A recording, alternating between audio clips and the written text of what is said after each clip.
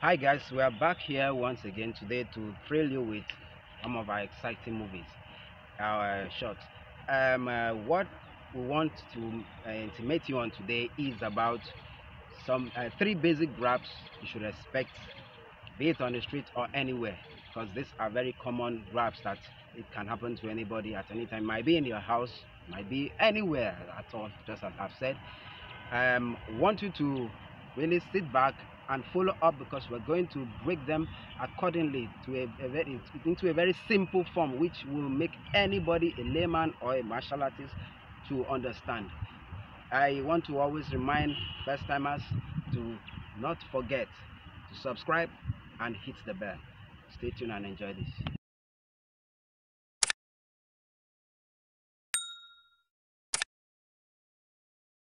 All right the first natural grab like i said it happens on daily basis anywhere anytime. Grab me by the waist the waistline. Good. Now you are grabbed like this. You might seem to be helpless but no you're not helpless if you know exactly what to do. And if your mind is stable and relaxed like i said if you have a relaxed and stable position or mind you'll be able to ascertain what to do at any point in time. But when your mind is is preoccupied with that tension or fear of what the situation you'll be confused. So you should always at any point be stable. All right now from this point we have various ways to escape from this grab but we're going to like i said three. So the first one is this. You hold to the hand and lock. This goes with the wrist lock and the twist. Now from here i can decide to do this. I break free strike to the he goes down strike there and hit here.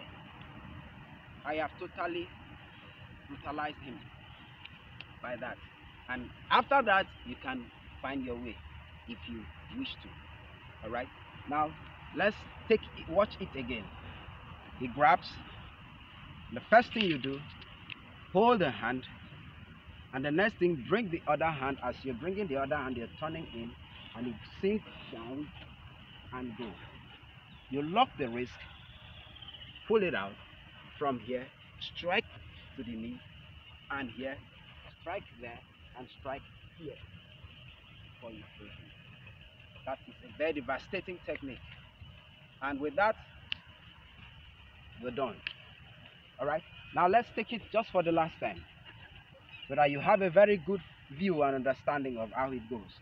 This time i'll be a little bit snappy. Watch this. He has grabbed. I go there. Yeah. There. And yeah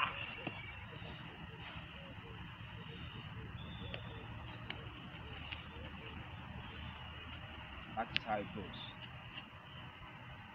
if we still do not get that point i bet you need to pause it and slow it down to see it because i've tried to make it simple and slow enough to see. It probably for benefit of doubt let's take it one more time. Slow. He grabs i hold to the wrist twist myself in bring this other hand sink in the, from the thinking, I have succeeded to lock his wrist and affect his shoulder by this. This alone is in danger. Then I go and I free the wrist from my waistline and straight to the knee. He goes down. Elbow strike there and another elbow strike here. All right. That's number one. Now we're going to take the second grab. Let's go to the neck grab. Now, the neck grab might be with two hands or one hand. Now, some people will grab with one hand and in the process, they prepare the other hand to punch like a grab and something like this to punch. But that does not make you to, or does not frighten you. Shouldn't frighten you in any way. All you need to do, like I said, always relax. From here, when you take a move back, he must follow you. And that is, you are sure of what you are wearing, that it won't tear easily. And you take that move back. When you take the move back, you have destabilized him. From there, you can go here. From here, you still strike on the shoulders again and strike here again and pull him off. We take that once again. I try to make it simple enough for anyone, both layman or martial artist, to be able to follow up and understand. Like I said, the first thing here, you take your move back so that he will move and be destabilized a little bit. Then the next thing here, you hold here and go. See this? Strike here and strike here, then pull him off. Okay, now let me try to be a little bit fast on it. He grabs again from here. Alright, pull up. I step back and I do this. And I go one, one.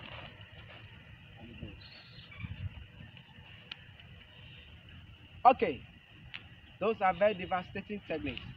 Let me take it once and show exactly areas you attack.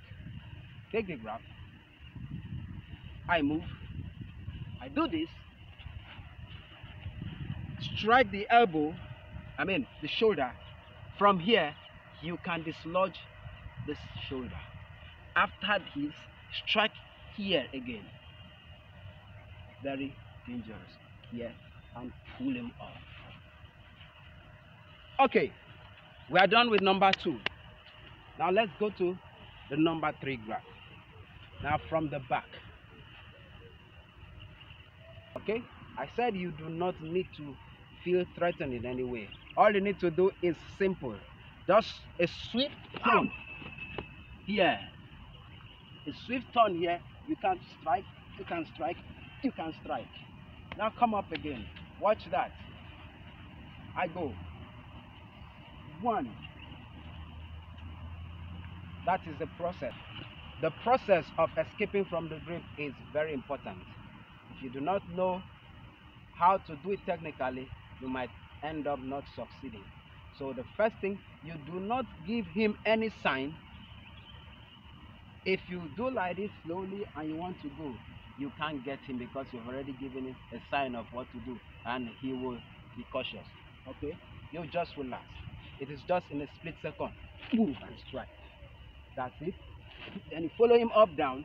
When you follow him up down, like I said, the face is here, you punch, the back of the neck is here and here. As simple as that. So I think with this, let's take it one more time, at least for a better view. In case you've not been able to see it well, we'll go again. I said one strike down, one, two, and three.